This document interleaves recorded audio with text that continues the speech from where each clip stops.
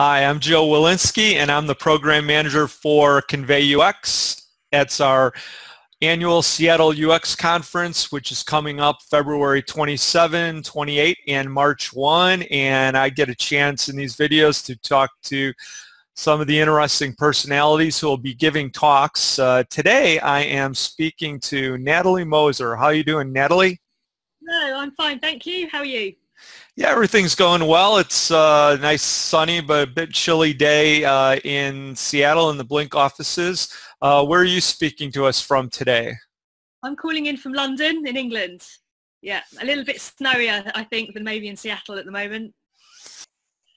Well, we're glad to be having you join us as one of our international participants. And I thought a good place to start would be for you to talk a little bit about your background and the type of work that you do for your organization. Okay, so I'm Natalie and I've been leading visual and UX teams over the last 15 years. I joined Eurostar last year where I built up a UX team um, from zero to six. We now in the team have designers and researchers. And we're all working across all the different digital touch points in Eurostar. So we're looking at the booking path, people choosing to choosing their journeys and buying them. We have another area that's completely dedicated to managed booking. So that's things like choosing, choosing your seats, upgrading, buying hotels.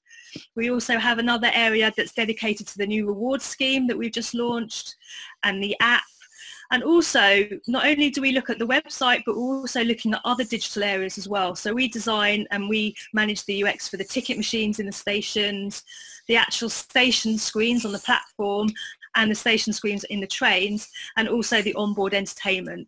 So we have a massive variety of different areas that we hit in, in the UX team. Well, that's one of the things that strikes me from your description is that uh, there there just must be a, a, a wide array of uh, physical and digital uh, types of media that you have to work with. Uh, what, what kind of challenge is that for you and your team?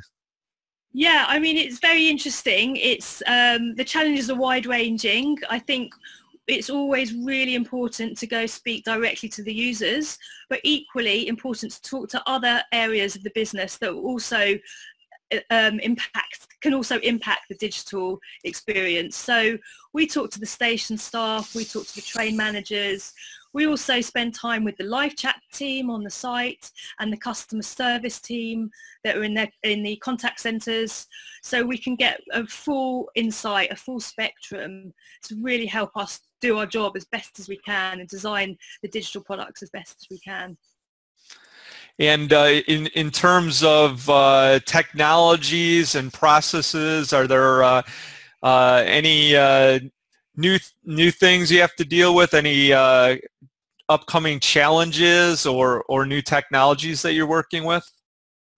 Yeah, and, and so we're we're embracing technology as it as it evolves as well and also really using it to its full potential so for instance one thing we're looking at the moment is using technology to manage the traffic flow at the station and we're looking at putting beacon sensors into all our stations to really identify when the busiest times are and how we can then communicate to people to arrive at the station earlier or not as early as they need to in order to try and get the best flow experience possible. So that's an example of how we're using tech to improve, improve the experience.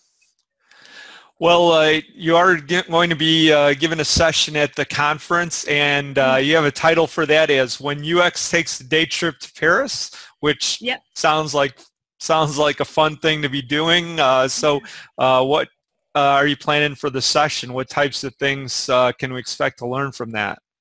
What I wanted to do in the session was really give a behind the scenes tour of the UX at Eurostar, what we're doing in the team, how we're really going out and looking for problems before they even come our way and, and actually trying to get as much first-hand insight as we can from passengers that are on the go to um, the station staff, and people who work on the trains.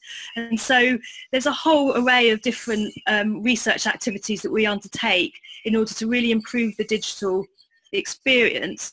But also the other thing is we try and break down that barrier between physical and digital so that we've got like one unified message that goes across. Because from the user's perspective, they're looking at everything. They're, they're looking on their phone and then they're going to find their seat and there is no real difference. So we're in the UX team very conscious of that. So we're trying to break down that barrier and trying to make one unified experience across the whole of the travel um, time between from beginning right to beginning to the end.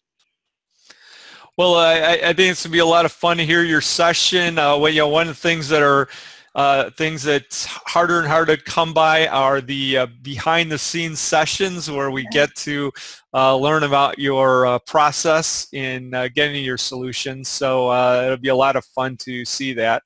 well, thanks a lot, Natalie, for spending some time here with me, and we'll see you in just a couple of months in Seattle. Right, I'm looking forward to coming out and telling the story. All right, we'll see you then. Thank you. Bye-bye. Bye. Bye.